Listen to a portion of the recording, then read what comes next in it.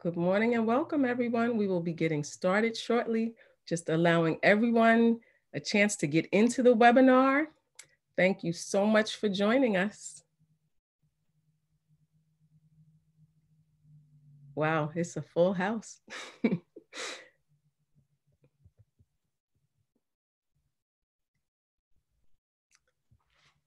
good morning, good morning.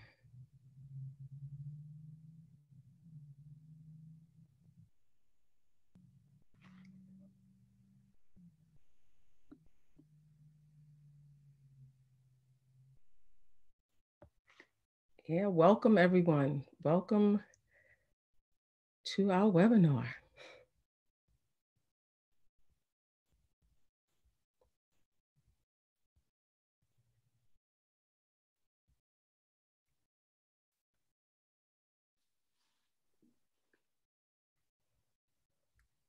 This is great.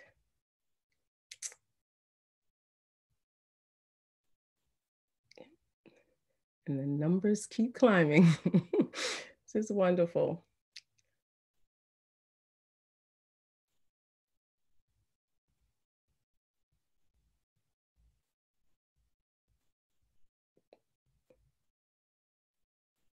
Give it a few more seconds, another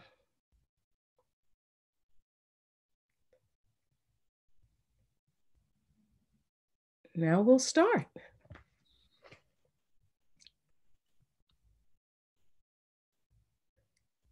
Good morning, Nathan.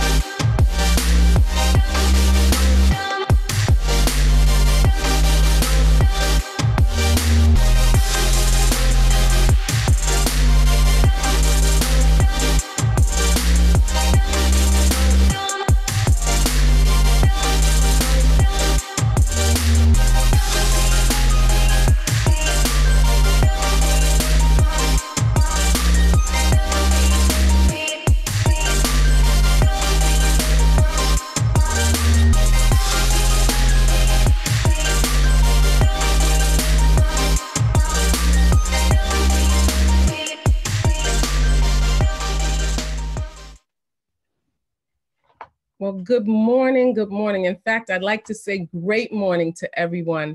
And thank you so much for joining us. Thank you for taking time out of your busy schedule for this third installment of our Saturdays with St. Andrews. Now, our first installment covered the application and the admissions process and was very informative. Now, last week, we highlighted the tremendous depth and power of our academic program. Now, we know that an hour isn't nearly enough time to cover the breadth of all that we do in any category at St. Andrews. But this week, we want to give you a glimpse of what DEIJ and our diversity education program mean to and for us at St. Andrews. Now, we want to be mindful of the time, and, and there's so much we want to pour into you this morning. Um, so I'm going to be brief. I am fortunate to be able to look back almost 40 years to when the only support the small group of then minority students, the only support we had was the support that we gave each other.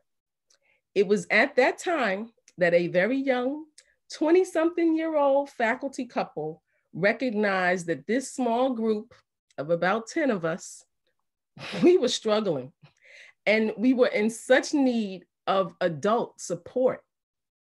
And so they gathered us. I, I, remember this day as clear as any day in my life.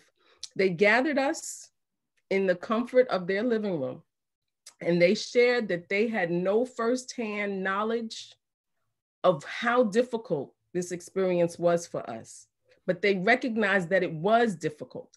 And they wanted to give us a space, a safe space where we could come and we could talk to each other, we could talk to them, and they were there to listen and provide that space for us. And though it was supposed to be a weekly meeting, it, it, it, probably ended up being more like daily meetings, um, but they were constantly there for us. And they helped us to navigate our lives at St. Andrews more successfully than we would have been able to do without them.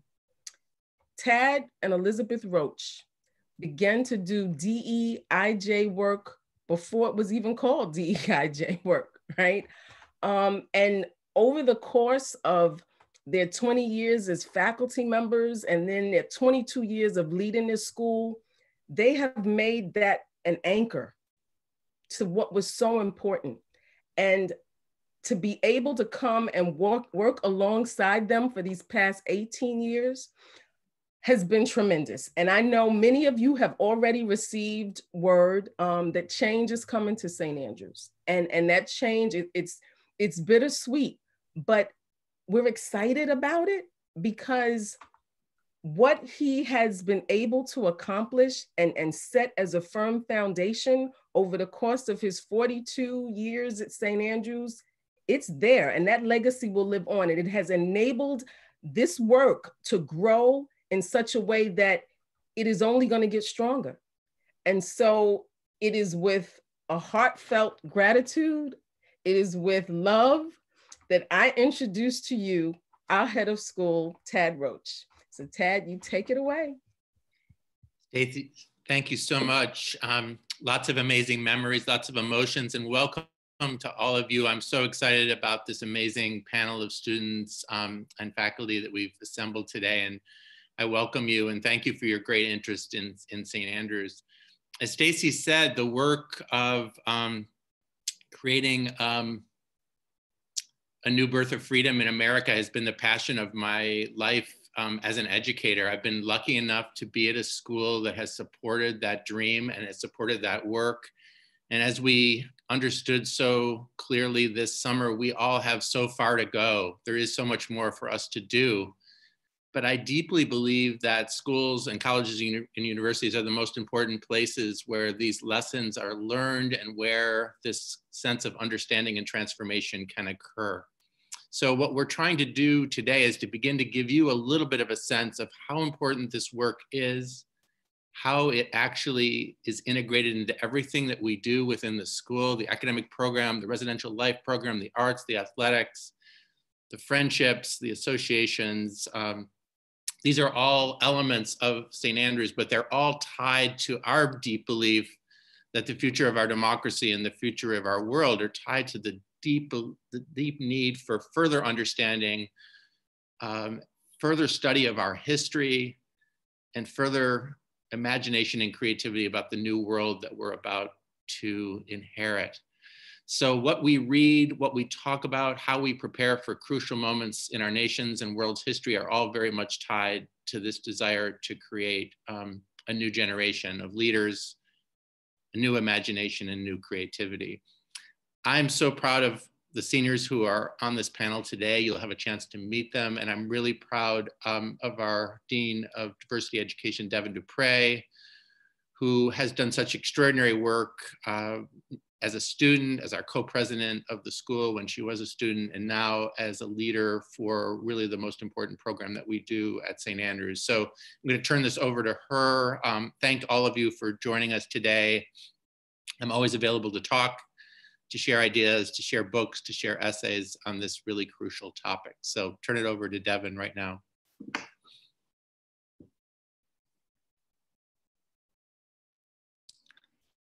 Hello, everyone. Um, I want to thank you so much for taking your time out of your Saturday morning um, or Saturday evening um, to be with us. Um, I'd like to thank Mrs. Dupre and Mr. Roach for their words um, and also our student leaders who are joining me in co-hosting this event. Um, during our next around 45 minutes together, it's our hope for, for us to share with you just a glimpse into the DEIJ work, the diversity, equity, inclusion, and justice work we do at St. Andrews, and to give you a better picture of how we work together to create an intentional, supportive living and learning community here at SAS.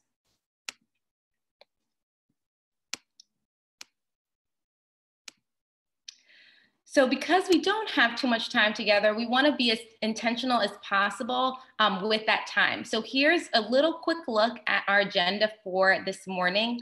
Um, our session will be broken up into two parts. So during part one, we wanna do our best to give you just a sketch of what DEIJ work means at St. Andrews. And then in part two, we hope to demo a little bit of what that work looks like. And we hope that you can actually join us in that as well.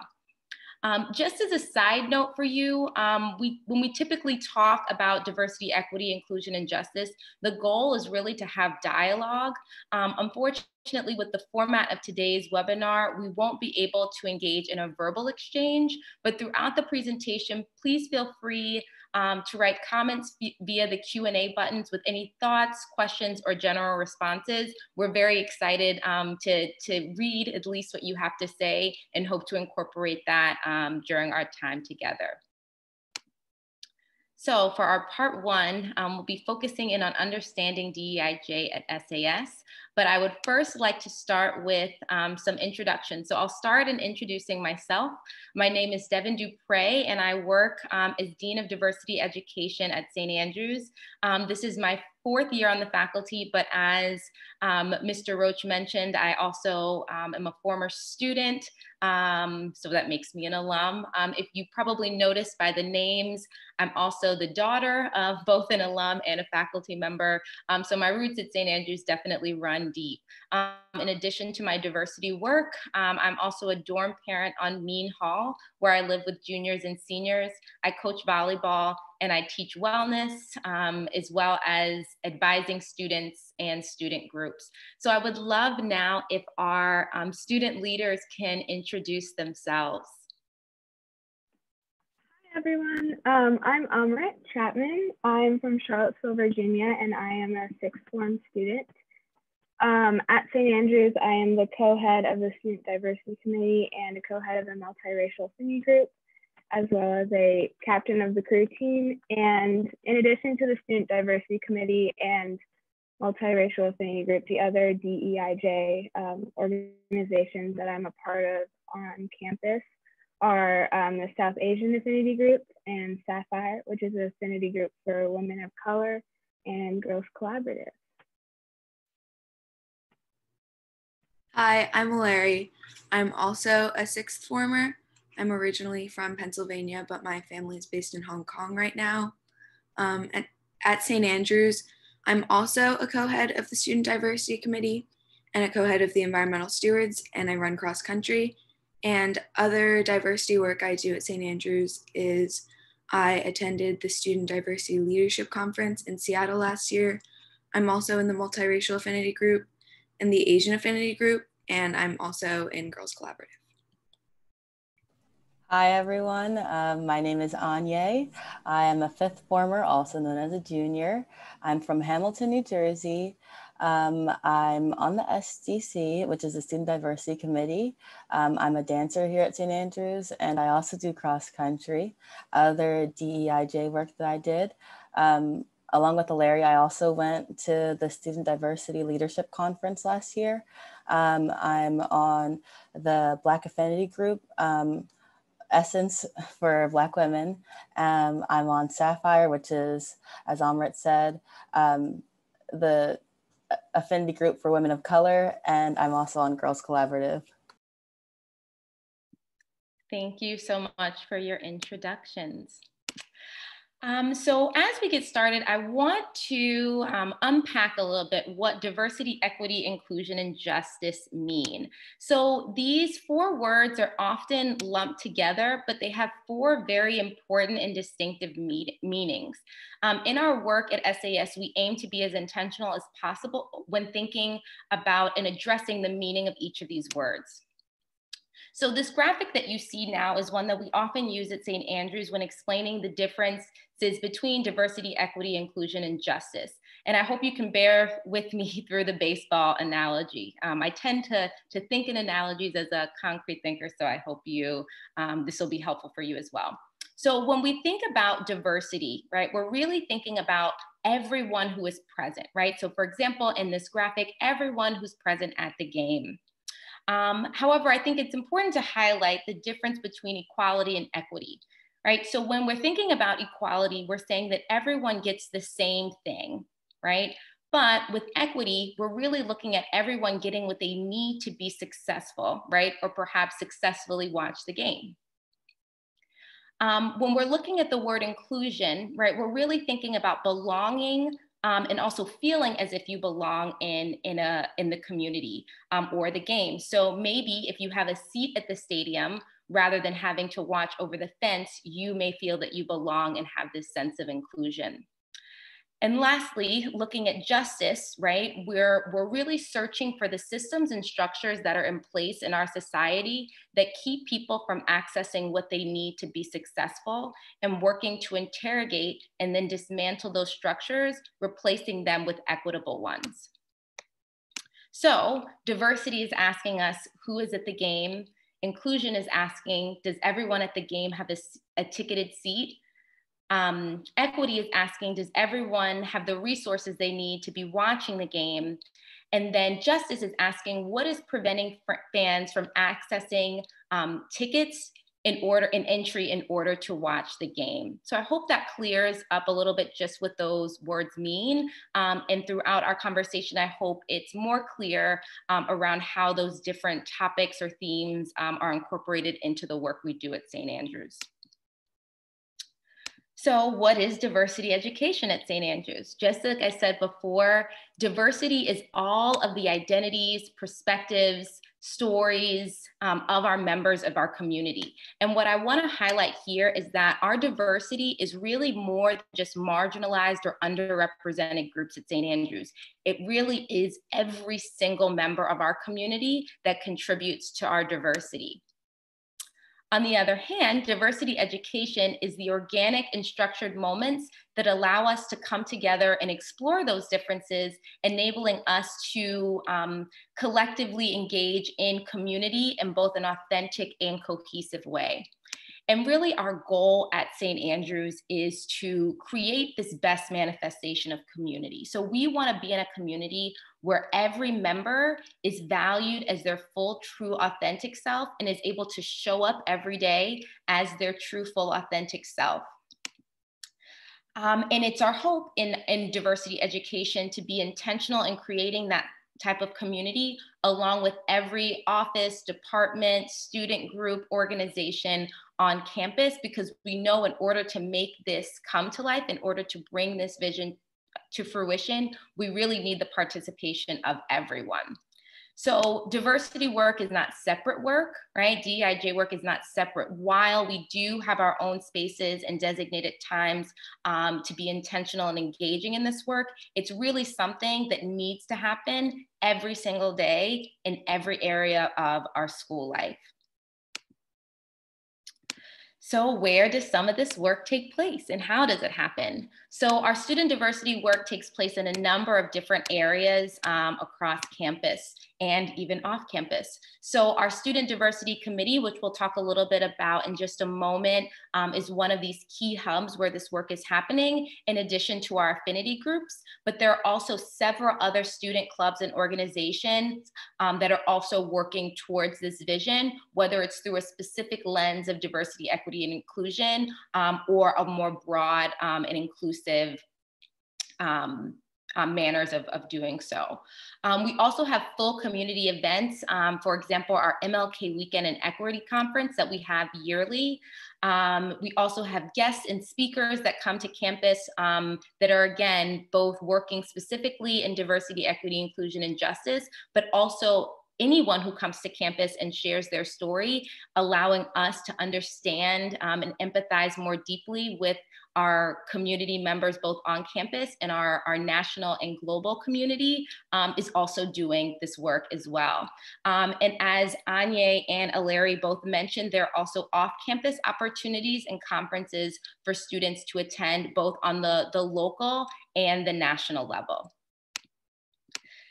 And then this community work is really happening everywhere. It's happening in our chapel program, during our school meetings, when we sit down and gather for lunch. It's definitely happening in the classroom, when we do community service, connecting with folks um, in our local Middletown um, and extended Delaware community. It's happening in our residential life on the dorms, in our athletic program as we're both competing and encouraging our teammates. It's happening in the arts as students are creating um, and, and, and really well, creating things that are meaningful in order for us to connect more deeply. It's happening everywhere on campus um, with intention. So really these both structured moments that are really important, but all of these organic moments that happen every day that allow us to come together more effectively as a community.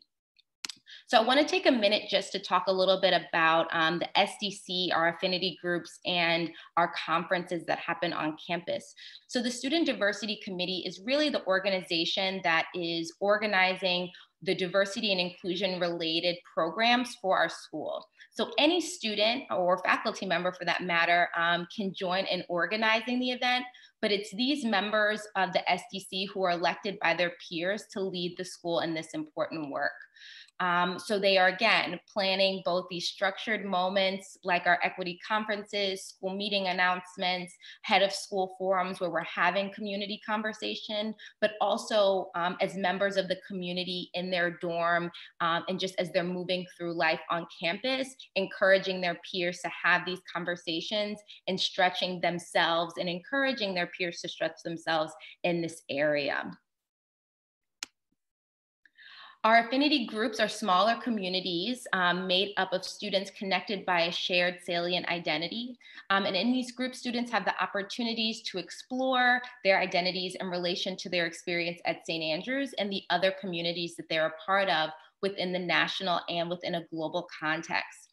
So they really are giving students a space where they can be their full selves, um, supported by people who share these experiences um, to engage in their identity exploration. Um, and while these groups are definitely for the students um, that they serve, they also play a big role in our community as they're promoting awareness and understanding of the diverse cultures, experiences, and perspectives at St. Andrews. Um, so they are led by students alongside of um, faculty advisors. And here are a list of only the, the 14 active groups on campus this year. Um, throughout the years, based on student interest in our population, there have been other active groups as well. So this isn't a total and complete list. And something that I want to encourage um, all of our, our viewers today is that if there is an affinity group that has um, that that isn't on campus yet, so an identity that you have that you would want to create an affinity group around, you can absolutely do that at St. Andrews. There's always space for as many affinity groups as we need for students to feel that they have a space to explore those parts of their identity. And then lastly, um, our MLK weekend and spring equity conferences are intra-school events planned and organized and host um, for the full school by the Student Diversity Committee. Um, these events typically take place on a Friday evening through a Saturday afternoon and closing with a Wednesday chapel service. Um, and during these moments, students, faculty, um, students and faculty collaborate on developing workshops, panel discussions, activities, and moments of reflection to center our commitment to equity and inclusion and justice. Um, so below you can just read um, some of the past conference themes that we've had over the past um, two years. And um, they've really been incredible opportunities for us to come together, um, both with guest speakers who have come to campus, um, but really giving us intentional moments to reflect that then ripple out into the work that we're doing out outside of these specific moments. So um, while it is important to have these, these central moments, we definitely know it's also very important for us to not only focus on these these moments but what these moments can do and how they can enhance our our life on campus so I want to take a moment to pivot a little bit and hear from our student leaders um, so I have a couple of questions for you all that I'm hoping you um, can help us reflect on a little bit. So um, my first question for you, um, and anyone can answer this question, why do you do diversity, equity, inclusion, and justice work at St. Andrews? Uh, I can take this one. So um, at St. Andrews, I found that i I'm surrounded by so many diverse, open minded, and well rounded people in my day to day life. And because of that, in my four years here, I've really been able to um, come to terms and understand my multiracial identity in a way that I haven't been able to in any other community I've ever been a part of. And um, so my D- DEIJ work at St. Andrews has really helped me shape the way I view myself um, in a really positive way. And I do D- DEIJ work at St. Andrews because I want to help other students have this kind of breakthrough and understanding of themselves. Awesome. Thank you, Amrit. Um, another question I want to ask is Is there something that you've learned, for example, a big takeaway from your DEIJ work at St. Andrews? Um, for me, I feel like just ever since I came to St. Andrews, DEIJ work has just been broadened in a way. Um, I feel like when you don't really focus on it that much, like you know that diversity and equity, like it's a part of life, but at St. Andrews we focus on it and like I don't know, I feel like you just learn the importance of it a lot more. So you notice it a lot more. And through noticing these things, you notice like how many, like the role you play in it and the roles others play in it. So I'd say that overall, like DEIJ work at St. Andrews just means like having a broader lens and open mindedness mindedness and like noticing like the humanity and just like the beauty that everyone has inside of them because i think ultimately that's what diversity is and i don't think if um if i wouldn't have come to st andrews i don't think i would have ever recognized that thank you anya um, and then one more question um, what what is a pivotal DEIJ moment that you've had in your St. Andrews career? Yeah, I can take this one. Um, for me, I feel like there are so many moments that just take place on like a daily and weekly basis that it's hard to pick just one. But I think the first moment um, that was really pivotal for me was one of the first weekends of freshman year. We had our first meeting for MRAG, the Multiracial Affinity Group and it was hosted by Miss Reddy in her living room, and we were all just gathered around, sitting on the floor, eating pizza together, um, and just talking about our experiences. Um, and it just like was the first time that I had really been able to see my multiracial identity as an identity itself, as opposed to being just like two parts of a whole. Um, and even though like we all had experiences that were different in a lot of ways, um, we were also really able to connect with one another. And there were a lot of seniors in that group that ended up people that I could go to um, throughout that year at St. Andrews. So that was really powerful for me. Thank you, Larry. Um, so we're going to take a moment just to pivot now that we've got, got a sense of again, the purpose why we do diversity, edu- diversity, equity, inclusion, and justice work at St. Andrews, what it means for us in our community. Um, I'd love to pivot and for us to, to practice what that might look like. Um, taking a look at that structured work that I that I spoke of, um, and the some of the the activity that we'll actually do together um, is often work that we're doing early in the year um, as it is very important for us to um, collectively, as a community, set the tone um, for how we want to navigate um, the school year. So what does DIJ work look like in practice? Um, so the two graphics you see here are um, student developed um, posters that we've used over the past couple of years to kind of guide us both in these structured moments um, when we're having conversations around um, topics of DEIJ, but also the way that we live life here um, as a set of community norms. So again, our efforts, right, are really centered around creating this best manifestation of community in which every member is valued as their true, full, authentic self. Um, so the ways that we do this, right, we seek to be a community of inquirers um, that are constantly, right, seeking to uphold our community norms. Um, we're giving each other grace every day in all of our interactions. Um, we're developing proximity um, and we are striving to be anti-racist. So our theme for this year actually is cultivating an anti-racist mindset, community, and culture. Um, and through this, and this is the work um, of, of students, faculty, and even alums we developed this framework to supporting individual and collective efforts um, to, to becoming anti-racist and engaging in anti-racist work, um, and then furthering advancing again this, this mission of creating this um, best manifestation of community.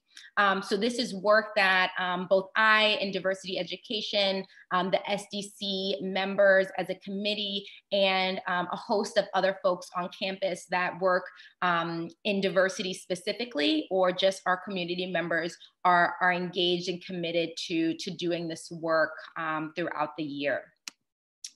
Um, so for our time together, the rest of the time we have together, um, we're actually going to be focusing on these two themes. So um, what it means to be a community of inquirers um, and what it means to develop proximity. So um, I know this slide is familiar to um, Anya, Larry, and Amrit because this was actually a slide that was included in an orientation that they did um, right at the beginning of the year that each form had.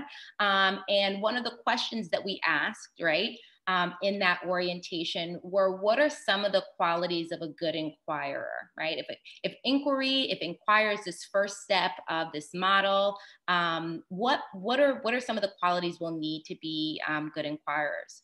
So um, we, we selected active listening. So being able to know and demonstrate that when someone is speaking to you, that you are listening to them.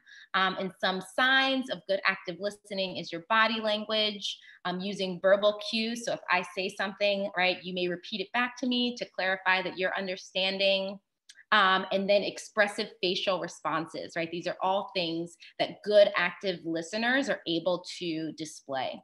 Um, but in our community, we actually want to take active listening to the next level um, and actually engage in radical listening, right? So this idea of radical, right, and going to the root meaning of, of radical, which actually means to get at the root, right? I want to be an active listener but I also want to make sure that I'm focusing on the intent of what the speaker is saying in addition to the content of what is being said, right? So when I'm radically listening, I really want to hear excuse me, not only what you are saying, but what that actually means for you, right? And how your humanity is showing up in this moment.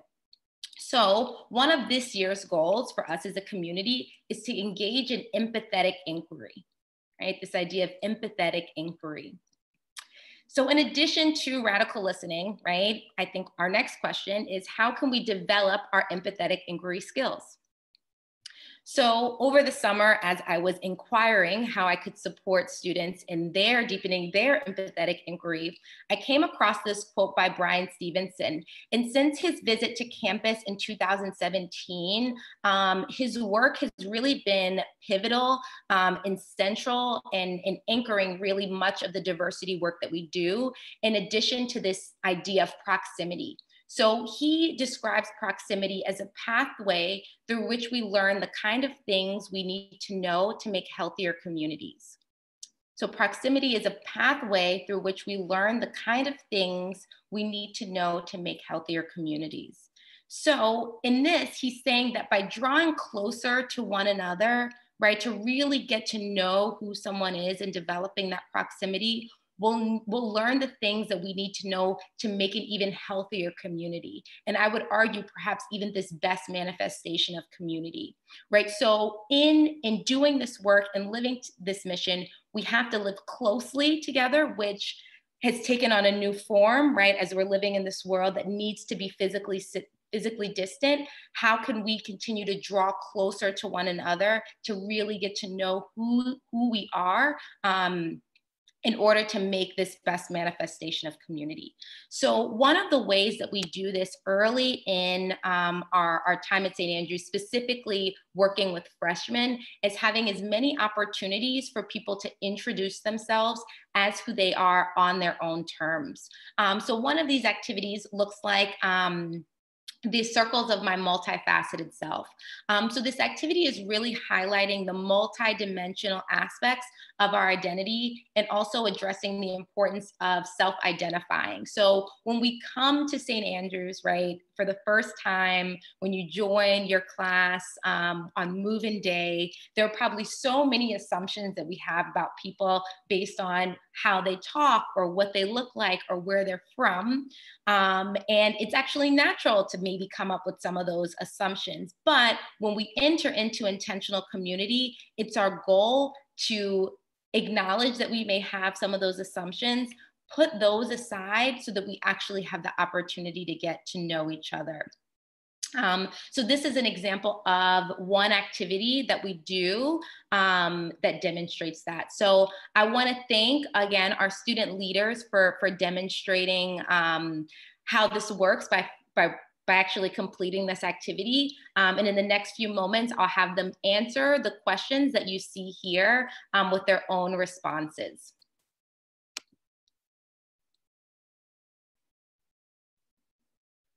All right, so for my four um, main self-identifiers, I put student, girl, athlete, and multiracial. Um, I thought that these were kind of the four identifiers that I thought of on a daily basis and that I really um, think define who I am in a sense. I put um, female, multiracial, Welsh slash Chinese, agnostic, and granddaughter. Um, and like Amrit, those are the ones that I think about the most often. And granddaughter specifically, um, ties to one of the identifiers we've talked about in our DEIJ work, which is family structure, um, because my grandparents lived with me growing up, and that's a big part of my life. Um, for mine, I put a friend, a Black American, a teenage girl, um, and a Christian. Um, the one that I want to just point out the most is a friend. Um, and I think this is a very interesting way to describe yourself, but I think that through my friends, especially at St. Andrews, since we're all from everywhere pretty much, I think that's one of the best ways how you can learn about diversity um, in all aspects of it. So, yes. Thank you. Um, so we'll move on to part two, um, which asks us to reflect on a time where we felt included, excluded, or disrespected in relation to one of the descriptors we included. Write one word that describes how you felt in the heart thought bubble. And then reflect on a time you felt proud or respected in relation to one of the descriptors you included. Write one word that described how you felt in the heart thought bubble. Um, yeah, so mine, the first one is a time when I felt excluded or disrespected. This was um, at home. I was in a driver's ed class. Um, my instructor saw my name and asked me where I was from or like where I was really from, where my people come from. And when I told him that I'm half Indian, um, he proceeded to make racist jokes. And in that moment, I just felt really small, really um, embarrassed, vulnerable. Um, yeah, so that was a time when one of my identifiers was disrespected.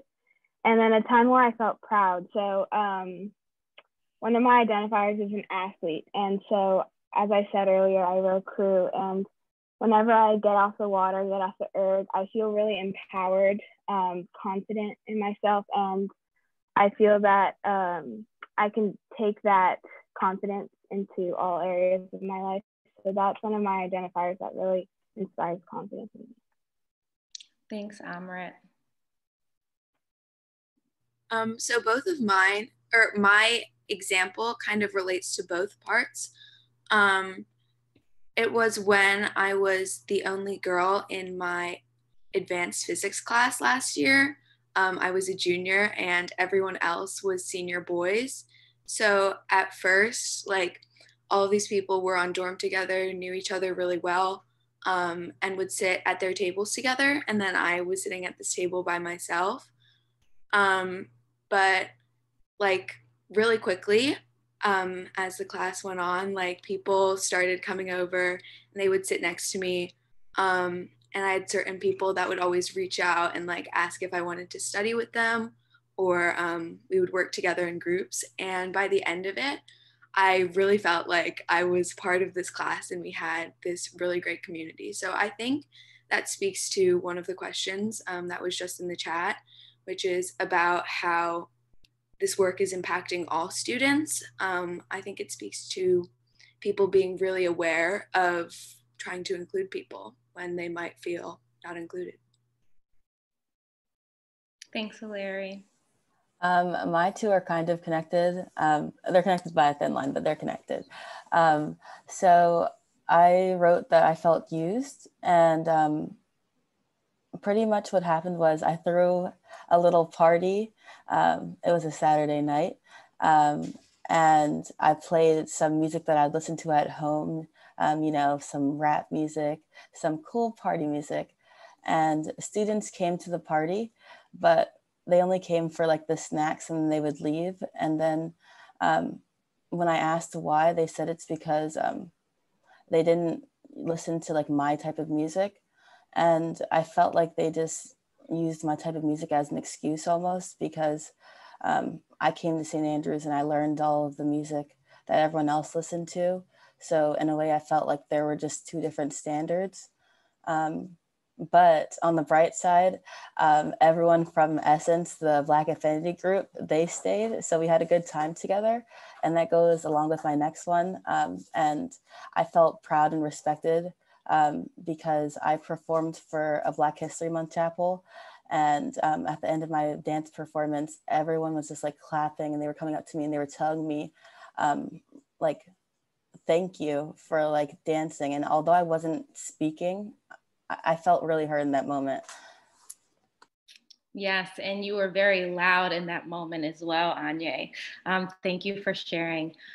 And now we have our final part three. Um, so name a stereotype that's associated with one of the descriptors you wrote down that's not consistent with who you are and complete the following sentence. Yeah, so mine's related to Larry's story actually about um, her physics class the same type of thing. Um, I said I'm a girl, but I am not any less than boys. I think it's just kind of the age old stereotype that girls are less than boys. And um, that's something that I really try hard to, that I notice a lot and that I really try hard to prove wrong and kind of defy that stereotype. Mine um, says, I am multiracial, but I'm not less than whole. So um, that relates to the story I was talking about earlier.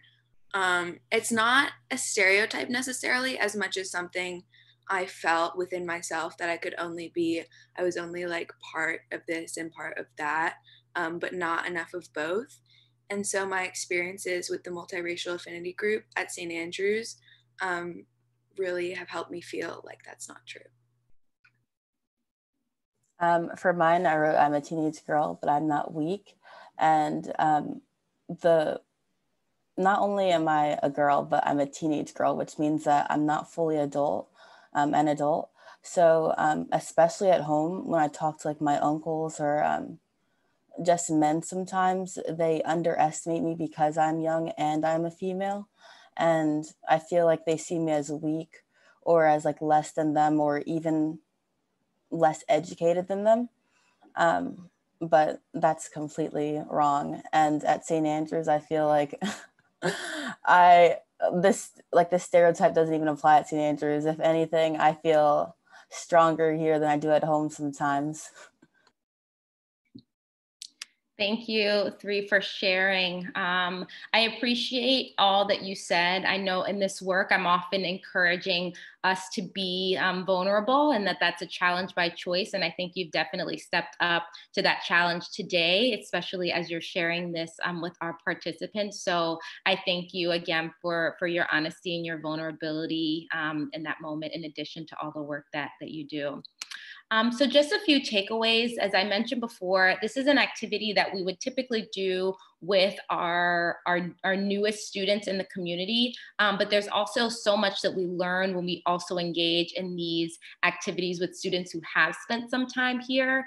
Um, we learn more and more that while um, we do get to know each other well. Um, I often view community as a site for continuing to get to know someone, right? And relationships as um, moments for us to constantly being um, in in search of who someone is as we're also learning about ourselves and growing and changing um, so so with this work again while it is very much um, seeking at looking at our differences and how we can come together more effectively the root of what we're trying to do is get everyone to be able to acknowledge first at any interaction that they have with another human being that individual's humanity right? And if we're able to lead with seeing someone's humanity, that they are just as worthy as respect and love and success and health and wellness um, and everything that they want in life, if they're just as deserving of those things as we are,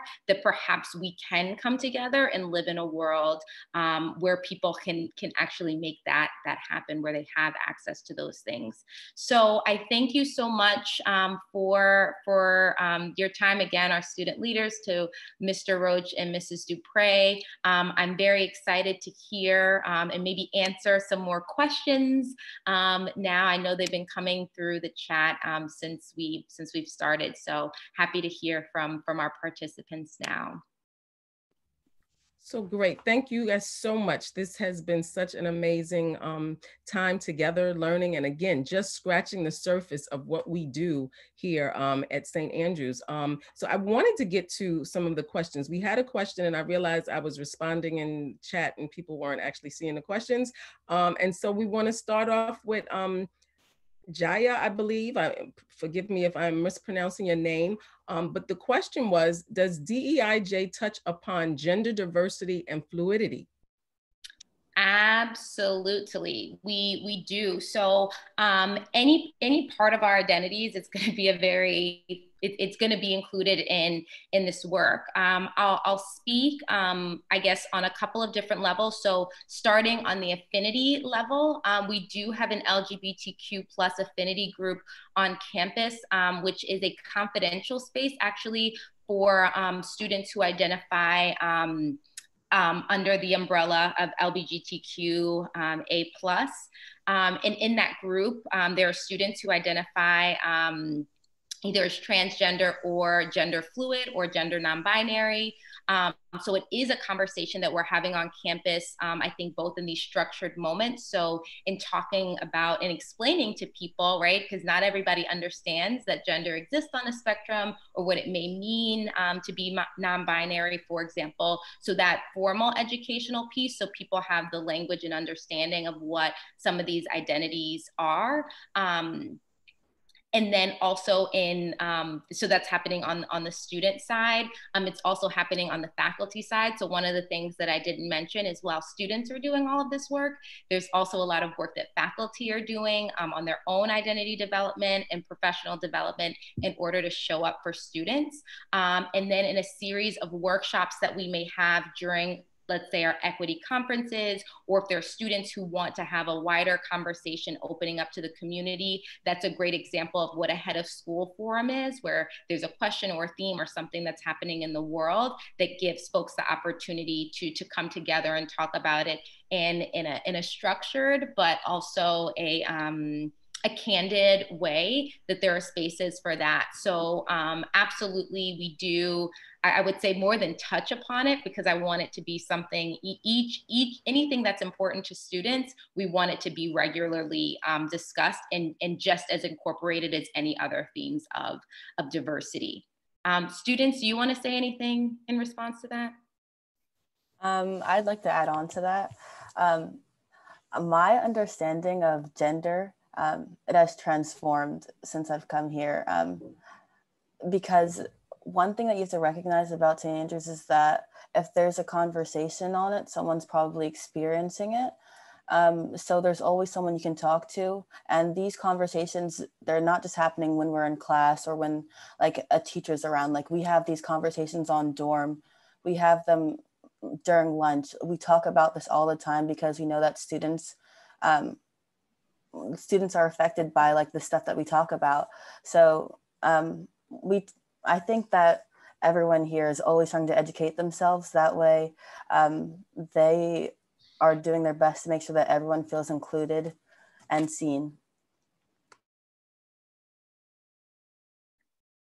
Great. Um, we had another question. actually, and was I'm so grateful he shared a, a link. Um, but it was talking about um, you're all probably going to get this, but um, the NSTA, National Science Teacher Association, recently sent out a message about building an anti-racist science classroom. In the message, NSTA encouraged dialogue about race and bias in science um, and daylighting some of the racist history of science and the people that conducted it, not all. Essentially being thoughtful about integrating conversations about DEIJ, mostly equity, inclusion, and justice within the science classroom. Um, so if we can just talk a little bit about how that is working at St. Andrews um, within that context, that would be great.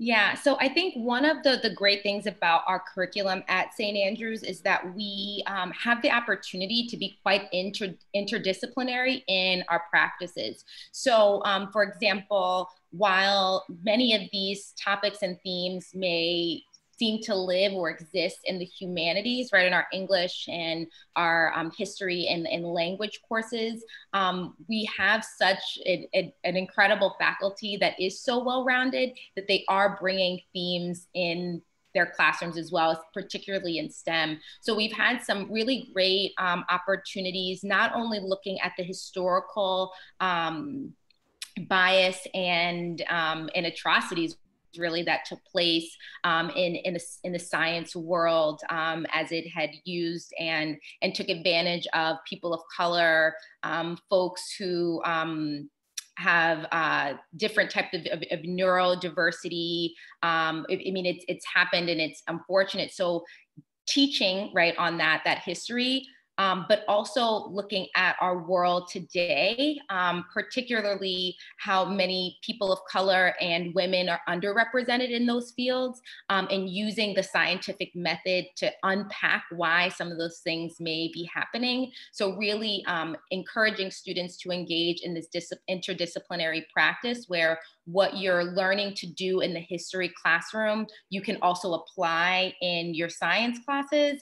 And what you are learning in your science classes also have an important and deep history that we need to unpack. So, um, again, with our faculty and their um, level of expertise and experience, we've been able to have really great moments of. Um, of, of looking at the intersections of what students are learning in their different classes through those lenses.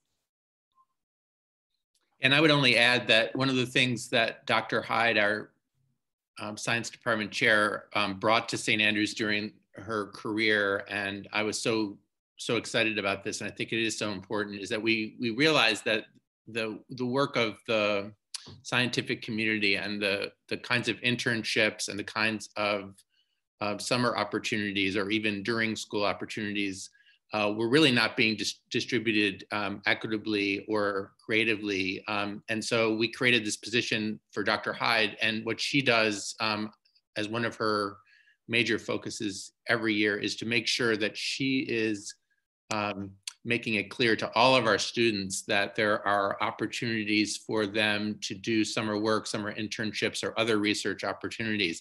And the reason we the reason we created that position is we wanted to to diversify um, the numbers um, of students who have access to that kind of really important research work that can often lead to careers um, in science and in medicine, both in college and in, in, graduate school. So that's that's been a really wonderful addition um, to the St. Andrews approach to this issue. Um, and I know from from my perspective as a as an English teacher, we're constantly looking at texts um, and essays that reflect on um, the history of racism and, and, intolerance and bigotry that has affected um, science and human rights violations, as, as Devin just mentioned. So it's pretty integrated into the curriculum. Larry, you wanted to share something? Yeah, um, I just had a specific example of something that we did do. Um, one of the summer reading books that was on the list, I think the summer before my freshman year, was The Immortal Life of Henrietta Lacks, which is about um, this woman whose cells, this African American woman whose cells were taken um, without her consent, I think, or I'm kind of forgetting the specifics, but it was going into um, a lot of themes of medical racism um, and the ethics of that. And so um, when when we got to campus in the fall, we ended up having a book discussion and just talking about all of those themes. Thank you. Now there's a there's a question that um actually it it ties into uh, two kind of questions that blend in together and um wonderful questions. You know, how are we gauging the impact this work is having on all students, not just students of color?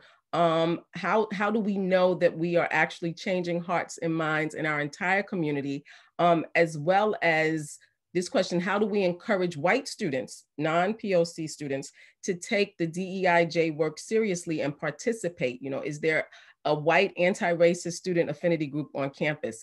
Um, and, and I'm, I'm, I'm gonna throw, jump in here because this is, there is, there actually are white anti-racist student affinity groups put in place so that discussions that need to be had can be had in safe spaces um, and students can can can participate in that.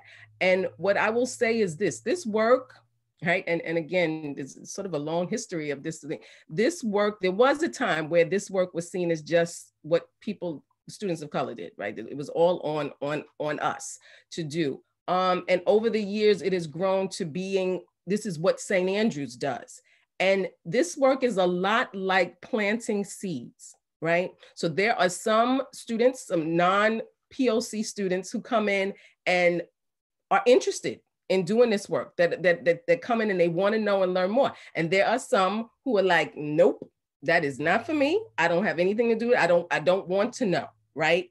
But because it is so interwoven in everything we do, you get opportunity to plant seeds even when people don't realize that seeds are being planted. And I'll give an example of a student, um, this was some years back, who was one of those students that didn't want to hear anything. This stuff, it didn't exist. Everything was good. Everything was equal for everybody. Didn't understand any of this. White student who didn't want to participate, but because we had to participate in things, he was there. Um, you couldn't quite see the seed breaking through the ground by the time he graduated. But when he went to college, things started to change. And this young man became so involved in diversity work at a college level that I had to give credit that that seed was planted and deeply rooted and watered, even when we didn't know anything was happening, because it is so much harder to do that work in a college setting where you have to actually be so intentional because it's it's not you know the the, the need to segregate kind of happens in college. It's easy to do that. And so i know it had to be deeply rooted for him to work through all of that and do the amazing work that he did in college. So as a farmer right we look at this you may not always see the fruits of your labor but the seeds are being planted and hearts are being changed uh, student leaders, do you have any response to, to that question? Yeah, um, I would say that my concept of, of, what diversity means has really changed since I've come to St. Andrews. And um, I think a lot of times when people think of diversity, they just think of like race and gender. Those are the two main things that come to mind. And that's what came to mind for me before I started this work. And I now realize, as Ms. Dupre, you touched on earlier, that um, everybody has diversity. Everybody has those core identifiers. Everybody has a different background and experience, and they all deserve to be heard and understood. Um, and that's something that we really try to work on here at St. Andrews, and that especially the SDC tries to promote. And um, to answer the question, how do we know that um, the work is impacting all students? Um, I mean, after we have workshops or conversations or anything, I I've just seen how much students have engaged in conversation on dorm, on the sports field. Um, it's not always like a proctored conversation where we're doing this work. It's in it's at dinner, it's at the table, it's it's all the time. And um, just based on that, I can tell that it's really impacting everyone, and everyone is um, really into doing the work and really committed. So. now I want to be respectful of your time. We said we had an hour. We are willing to, to, to answer any more questions, but we also want to, again, thank you so much for joining us. Um, there was some questions typed into the, the Q&A um, that I believe was answered. How does diversity extend to the academics at St. Andrews? Um, and again, our panel last week spoke um, eloquently about that. You can go to our website and see what is being taught and read in, throughout our curriculum to see how that's embedded. Um, we talked a little bit, even Amit's last answer talked about how um, DEIJ is embedded into the daily life because we are coming from all different, we, it has to be because we're bumping into each other, we're living together. And so it just becomes part of what we do. Um, and so we so appreciate you. We, I wanna take this moment to thank our panelists. They are amazing. And, and truly, these are just three of the amazing students who are actually committed to doing this work um, and and our, our director, our, our, dean of diversity education, um, thank her so much for all the hard work that she puts into the program. Um, we want to encourage you to continue to join us next week. Um, we'll be talking, um, as our series continues, we'll be talking about residential life and student life and, and what that means, life outside of the classroom for St. Andrews. So I'll be with you again um, next week. Um, we will go into athletics the following week in arts the week after that, but we just appreciate you so much. There's so much. And I have to give thanks to our head of school, our fearless leader who continues um, and will drive us all the way to the end um, in doing this amazing work. So we thank you for your time. We look forward to you joining. If you have any other questions, please do not hesitate to contact any of us. We will all be willing to talk um, about this work. And I'm, I'm, sure there are more questions, um, but we are here for you. So enjoy the rest of your Saturday. Um, and we look forward to seeing you again um, real soon. And if you have not scheduled an appointment for an interview and a virtual tour where we can promise you sunshine, even if it is raining where you are, if you sign up for a virtual tour with us, there will be sunshine on your tour. We look forward to meeting you and, and talking with you on that level as well. So thank you so much and have a great weekend. Thank, thank you all. You,